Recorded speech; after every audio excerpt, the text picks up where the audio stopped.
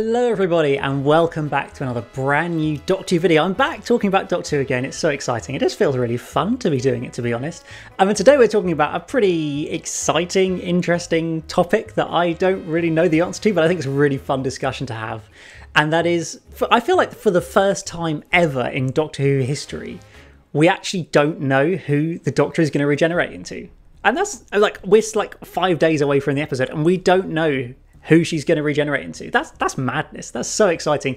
So join me as we have a little chat, a little discussion about just who might be I suppose the next Doctor? Let's call it that. So, yes, we're in many ways in unprecedented times, as we've been told for the last two years, and now it feels like we're in unprecedented times for Doctor Who, because we don't know whether Jodie Whittaker is going to regenerate into Ncuti Gatwa, which seemed obvious, he's the 14th Doctor, they've been saying that all the time, or because of the whole 60th anniversary special confusion, is she going to regenerate into David Tennant? Now, I, I, don't quite know where I sit on this, and I feel like maybe this video, by talking about it, we're going to kind of work it out together because I don't quite know what I want or what I expect. Um, I feel like it's really possible it could be either. Like it would be sort of, you know, pure classic kind of RTD shock factor because you'd have to guess that RTD wrote that side of the regeneration. If Jodie regenerates into um, David Tennant, we sort of we know that Jodie does regenerate in this episode. Um, we obviously, you know, we know we're going to see that. We know it's going to be the ending. Uh, intriguingly, the press screening last week did not show the regeneration scene. They showed the whole episode, like a you know an hour and twenty four minutes of it or something, and then those last two or three minutes with whoever Jodie regenerates into has not, you know, not been shown to the public essentially, or shown to the press, or shown to anybody. So that's where we're really, you know, in a bit of confusion because we of course know that next year in 2023 we've got three specials for the sixth anniversary, but David Tennant is the Doctor. He's going to be the Doctor for those specials. Like maybe there'll be cameos from other Doctors. Maybe Ncuti Gatwa will appear in a cameo in some form as well. But fundamentally, next year is going to be about David Tennant and Catherine Tate. And then Series 14 for 2024, that's going to be Ncuti Gatwa as the Doctor, his first series. So, is it the case that we're going to get Jodie regenerating into David Tennant, and then at the end of the sixth anniversary specials, will he then regenerated to Ncuti Gatwa because actually this version of David Tennant is actually Doctor 13.5 or something? Um, or is Jodie just going to simply regenerate into Ncuti Gatwa and then, you know, like the 60th anniversary specials actually happened in series four time and we're going back in time a bit? But then that doesn't make sense because we've got Donna with her um, sort of grown up daughter, which would suggest that the time has passed to this current time.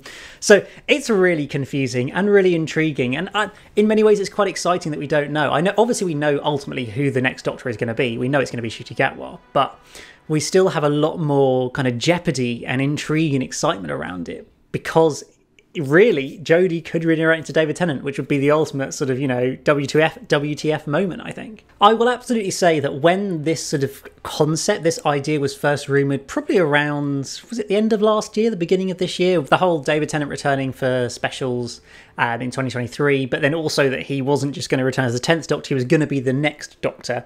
I'm pretty sure there's a video where I literally entitled it Why David Tennant is Not the Next Doctor, or is not the 14th Doctor or something, because I was so firmly in the belief that wasn't going to happen, that Russell would be stupid to do that. It'd be a load of nonsense.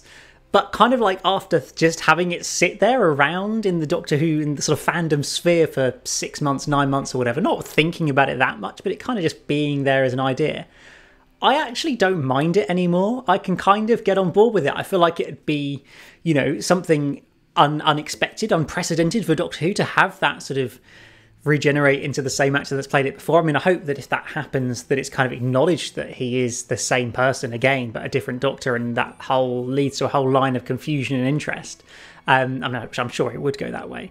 Um, but actually, whereas I was kind of stringently against it at the very start, I can now kind of get on board with it. And and I, I think almost it would just leave us with so many questions, even more questions, if Jodie regenerates into Ncuti Gatwa and then the episode ends and we're like, okay, but also David Tennant's in the in the specials next year, like it's the David Tennant show for for three episodes in 2023. So how the heck does this all link in?